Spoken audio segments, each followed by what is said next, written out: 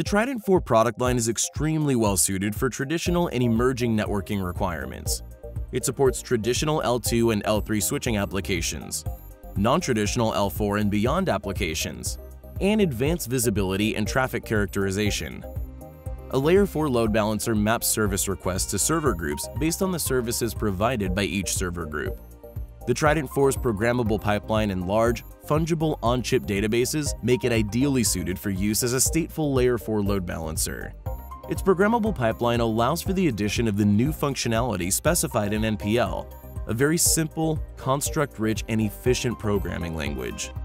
The large, fungible on-chip memory facilitates very large state association tables for maintaining the link between client connections and real server IP addresses. The Trident 4 hardware pipeline has been enhanced to support the load balancer data plane functionality through a simple program written in NPL. This program is implemented on top of a base switch application with less than 300 lines of additional NPL code. The switch can continue to perform traditional switching and routing functions while performing load balancing with no impact on performance. Packets coming in from the internet are sent to the Trident 4 switch, which is running the load balancer application. The switch tracks connections between packets and application servers in its connection table. As shown later in the demo, this particular solution uses address translation, specifically NAPT to perform the load balancer function. The translations between actual addresses and virtual addresses are performed at wire speed. And if needed, the switch also performs the reverse translations to return the packets back to the requesting clients, also at wire speed. The Trident 4 offloads the load balancer data plane by maintaining bidirectional data flow tables. It provides line rate traffic distribution to application servers and ensures per connection consistency. The Trident 4 switch provides multiple telemetry options, including streaming and in-band telemetry, with a large number of per flow counters and meters. It also implements flexible traffic scheduling with minimal changes to control plane software. Now on to the demo, which is a simplified network simulation. The demo consists of two virtual machines which are set up on a Linux server. VM number 1 is running Linux IP Virtual Server, or IPVS, a commonly used open source load balancer implementation. VM number 2 uses the open source Mininet framework to create a network of multiple clients initiating requests targeted to multiple servers. The clients and servers are hosted in Mininet connected to a functionally accurate simulation model of the Trident 4 switch. The model is developed using a comprehensive toolchain that makes it easy to write NPL code, compile, and test it in simulation before deploying the code to real hardware. In this demo, the NPL application performs traditional Layer 2, Layer 3 switching, augmented with the load balancer functionality described earlier.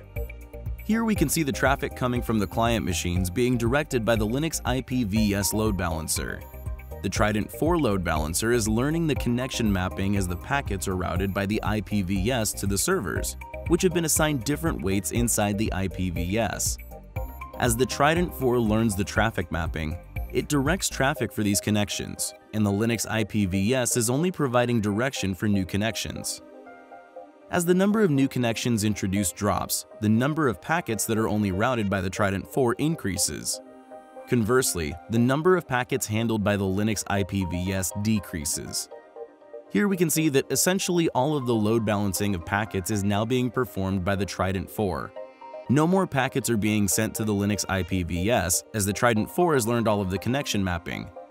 The Trident 4 is providing all of the load balancing and doing so with extremely low latency and with minimal server load. Using a Trident 4 as a load balancer gives several advantages over server-based load balancers. Its programmable architecture allows new features to be easily added, even during operation, the load balancing functions can coexist concurrently with other switching, routing, and traffic analytics functions. One switch has orders of magnitude more bandwidth than server-based load balancers and can replace racks of expensive, power-hungry server-based load balancers. As shown in this demo, a Trident 4 base load balancer can also offload existing load balancer frameworks with minimal changes to the deployment setup. The same Trident 4 application can support additional important functionality, such as integrated anti-DDoS protection. Visit www.broadcom.com for more information about the Trident 4 Ethernet switch, the Trident 4 base load balancer functionality, and other related information. Visit github.com slash nplang to learn more about NPL and the toolchains.